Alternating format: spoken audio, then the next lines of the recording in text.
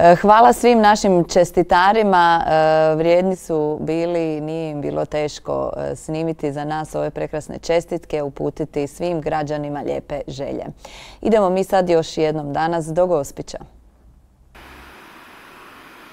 Dobro jutro, drage gledateljice i gledatelji. Dobro jutro, Katina. Još jednom, evo, mi se i dalje nalazimo u Gospiću. Ne da nam se odavdje ići, a s nama je gospodin Ivan e, Radošević, koji je direktor turističke zajednice Litsko-Senske. Dobar dan. Dobar dan vama i vašim gledateljima.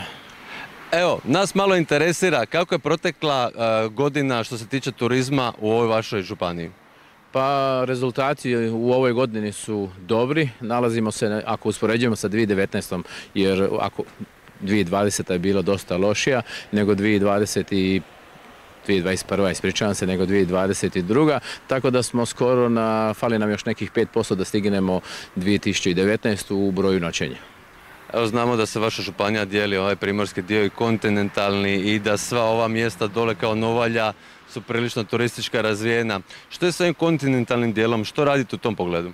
Pa mi smo svi objedinjeni, znači jedna županija, imamo taj e, otočni dio i primorski, tako da oni su daleko jači ako gledamo broj noćenja, ipak je Novalja top destinacija koja radi 60% svih noćenja našoj županiji. Imamo tu gradove i Senj, općinu Karlobag, Staru Novalju, ali ovaj naš dio u Lici svake godine brojke su sve bolje i bolje, tako da su bolji rezultati i u Otočcu i u Gospiću i u ostalim općim i u Pličkim jezerima nam fali još onaj mali dio uh, daleki tržišta, znači znači još uvijek ne putuju ni kinezi, ni ozbiljno ni japanci, a fali nam i korejci, tako da je to brojka koja kad, kad se ta tržišta vrate, e, onda ćemo imati odlične brojke i kod njih.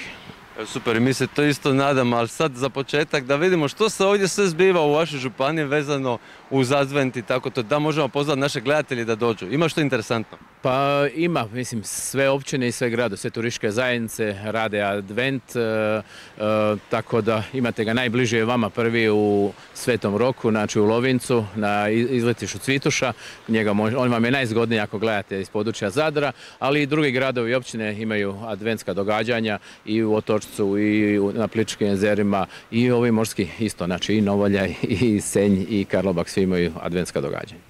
Eto, hvala vam lijepa. Hvala vama i lijep pozdrav još jednom vama i vašim gledateljima. A dragi gledatelji, evo, mi vas pozivamo da dođete malo u Gospić. snijega još nema, vjerojatno će brzo past, a sva ostala zbivanja moći ćete popratiti. E, hvala dragom Danielu. E, evo nas natrag u studiju. Još kratko vremena je ostalo e, do našeg rastanka.